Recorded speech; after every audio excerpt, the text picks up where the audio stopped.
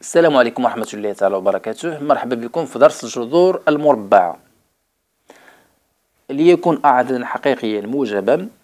إذا كناخذ واحد العدد أكبر من أو يساوي صفر.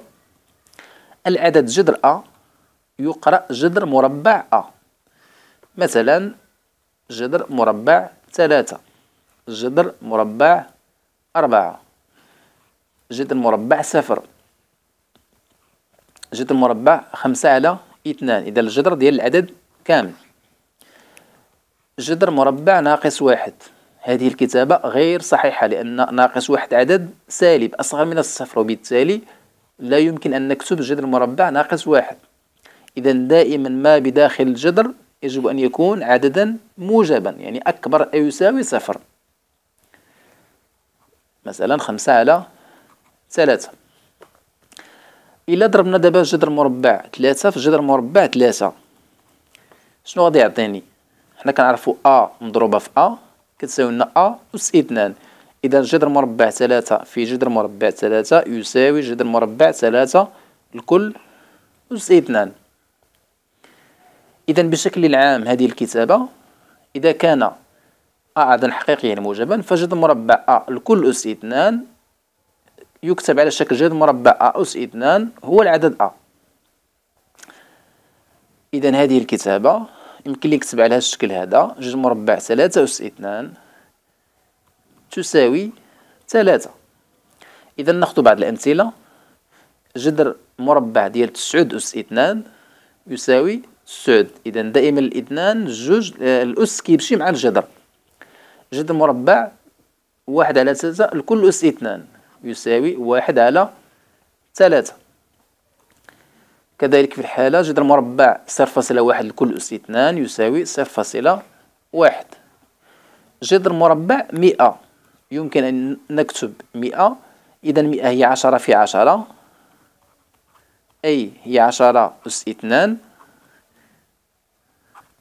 وعشرة أس اثنان حسب القاعدة. إذا هي عشرة. جذر ناقص خمسة لكل أس اثنان. إذا كاين اللي غيشوف ناقص هنا وغيقول لك بأن هذا عدد سالب إذا ما يمكنليش نكتب الجذر ديال ناقص خمسة أس اثنان ولكن حنا عندنا ناقص خمسة لكل أس اثنان.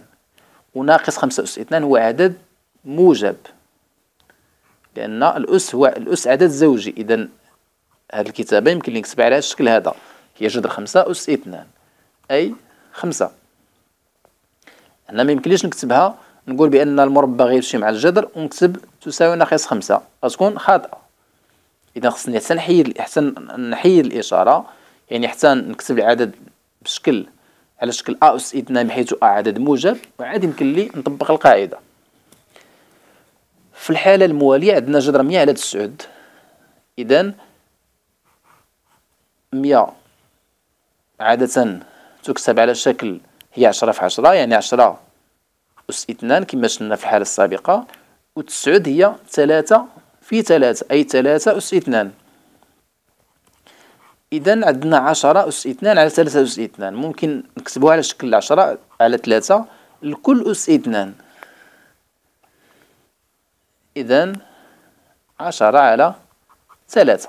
إذا الأس تيمشي اثنان تمشي مع الجذر تيبقى لنا عشرة على ثلاثة. العمليات على الجذور المربع. إذا غنشوفوا بعض العمليات على الجذور المربعة غنبدأو بخاصية واحد. الجذر المربع والجداء. إذا بشكل عام أو بعددين حقيقيين موجبا إذا دائما نشتغل على الأعداد الموجبة. الجذر المربع ديال أ في ب يساوي جذر أ في جذر ب ناخذ بعض الأمثلة. إذا عندنا جذر 48 إذا العدد 48 يمكن لي نكتبو على شكل جداء عددين.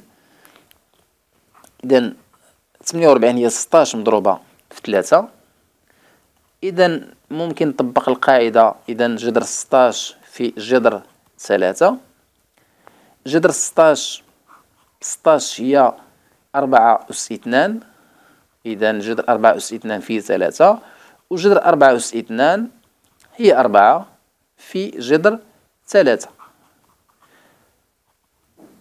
أربعة في جذر ثلاثة يمكن لي نكتبها على هذا الشكل هذا هي أربعة جذر ثلاثة يعني هذا الضرب ما كنكتبوش اختصارا للكتابة. الحالة الثانية عندنا جذر سبعة في جذر ثلاثة إذا هي جذر سبعة في ثلاثة هي جذر واحد وعشرون. الحالة الثالثة عندنا جذر اثنان في جذر خمسة في جذر عشرة يمكن أن تكتب على هذا الشكل إذا كندير واحد الجذر كبير.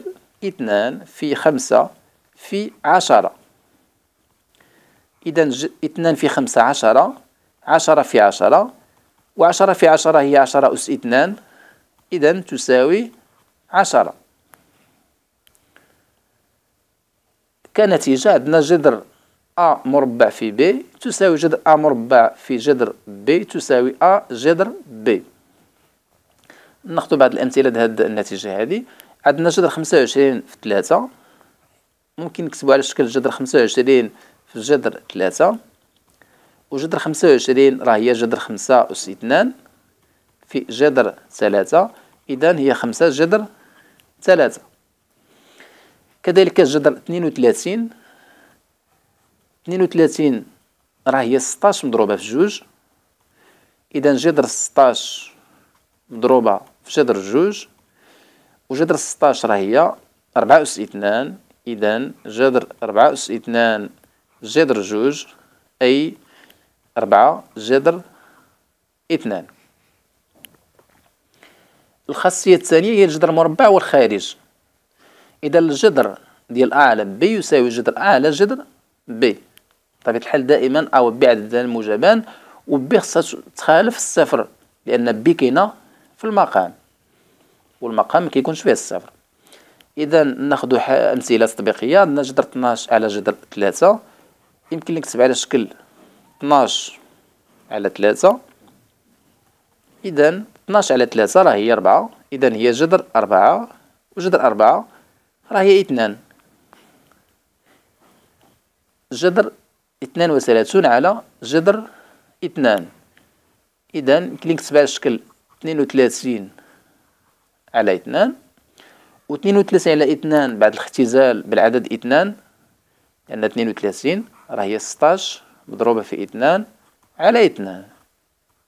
إذا كنختزلو باثنان كيبقى لنا الجذر ستاش. جذر ستاش هي جذر أربعة أس اثنان أي تساوي أربعة. عندنا هنا جذر خمسة وعشرين على تسعة. دائما الجذر ديال العدد الكسري كامل. إذا يمكن لي نكتب على شكل جذر خمسة وعشرين على جذر تسعود جذر خمسة وعشرين خمسة أس اثنان وجذر السعودية ثلاثة أس اثنان أي خمسة على ثلاثة.